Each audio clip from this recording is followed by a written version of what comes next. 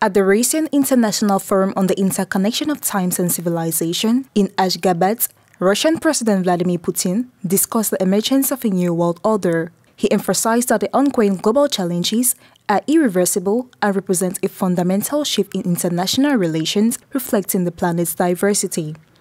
Quoting Turkmen poet Makhtumkuli Fragi, Putin highlighted the need for justice, equality, tolerance and solidarity, particularly in the face of unprecedented threats from civilizational fractures and interethnic conflicts. He noted that new powerful centers of economic and political influence are emerging primarily in the East and South, striving to maintain their sovereignty and cultural identity. Putin stated that most countries, including Russia, advocated for more equitable distribution of benefits and a consistent democratization of international life. He concluded that universal peace and global development can only be achieved by respecting the rights of all nations to pursue their own paths, ideologies, traditions, and religious beliefs.